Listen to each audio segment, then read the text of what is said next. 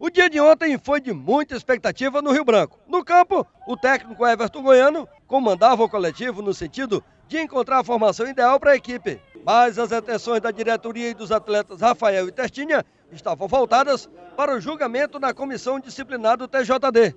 Os dois atletas estavam citados no processo em pauta.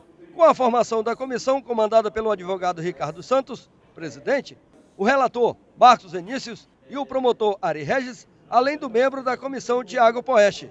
Continuando aí o pensamento, acompanho o doutor Vinícius, o Rafael Valdemir, que apesar da suspensão dele, não partiu. Os atletas do Rio Branco foram os primeiros a serem julgados. O zagueiro Rafael foi quem sentou no banco dos réus pela primeira vez e fez a sua defesa, relatando os fatos do ocorrido na sua expulsão.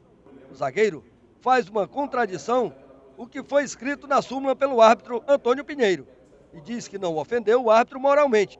Na sequência, foi a vez do atleta Testinha sentar no banco dos réus e relatar os fatos que culminou com a sua expulsão. Eu estava com a bola, né? Uh, recebi uma primeira falta, recebi a segunda no mesmo lance, ele dando vantagem. Quando foi na terceira jogada que recebi a falta, né? aí ele, ele foi marcou a falta meio atrasado, né? Que foi quando ele deu, adiantei um pouco a bola cheguei Cheguei atrasado no lance, o cara chegou primeiro, tirando a bola, cheguei pegando a perna dele.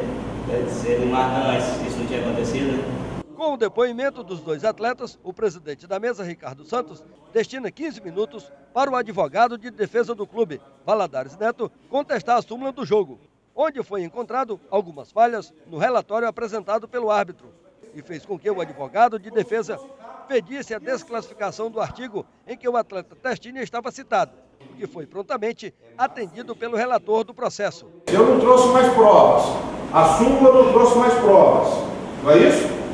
Em caso de dúvida, a gente faz o quê?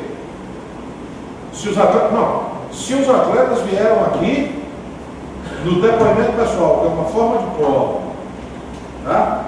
e negaram, principalmente, e aqui, doutor ministro, ninguém vinha aqui dizer que não deu tocar ou que não deu a falta, porque a falta existiu tá certo? Mas que negou aqueles fatos específicos no que diz respeito às ofensas, eu quero crer, com todo respeito, viu, procurador, que ela está desnaturada. O procurador Ari Regis pediu mais disciplina dos atletas ao se dirigirem aos árbitros da partida. Já o relator do processo, advogado Marcos Vinícius, acatou o pedido de desclassificação do artigo 254 para o atleta Testinha, já que o árbitro não discriminou que tipo de jogada violenta o atleta cometeu. Com isso, o relator do processo votou por pena mínima de uma partida para o atleta Testinha. Já o zagueiro Rafael, que a princípio teria levado a mesma pena, não teve a mesma sorte e voltou a ser lembrado pelo presidente da comissão, Ricardo Santos, que no artigo previa uma pena de quatro a seis partidas, ofensas moral ao árbitro o que foi acatado pelo relator, e o atleta foi apenado em quatro partidas, mais uma multa de 100 reais. O ex-técnico do Rio Branco ganhou um gancho de quatro partidas. Segundo o advogado de defesa do clube, os relatórios dos árbitros são falhos e deixa muita brecha para que as penas sejam contestadas. E sempre deixa falhas esses relatos dos árbitros em, em, em súmula, desde quando eu acompanho os julgamentos aqui no Tribunal de Justiça Desportiva, na condição de procurador e agora na condição de defensor é, de alguns clubes.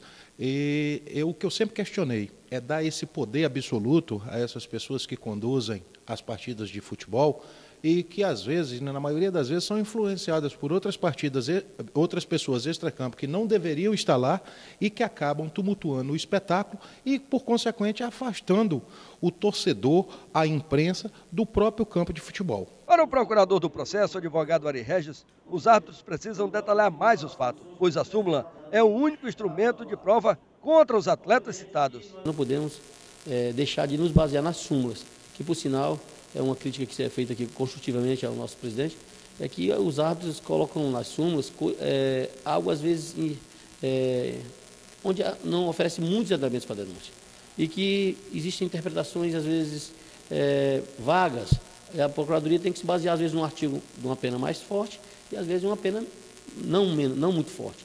Então, esse critério fica por conta dos julgadores. A denúncia sempre é feita para que se seja é, mantida a paz nos estádios, O que nós queremos é que o futebol tenha um caráter educativo, que, veja como lazer, não como agressão. E também, mesmo admitindo que nós temos falhas é, nas arbitragens, é, é, também temos que admitir que deve ser melhor elaboradas as, as súmulas e também que também deve ser dado mais respeito aos atos, às decisões. O relator Marcos Vinícius adiantou que os árbitros precisam ser mais claros em seus relatórios.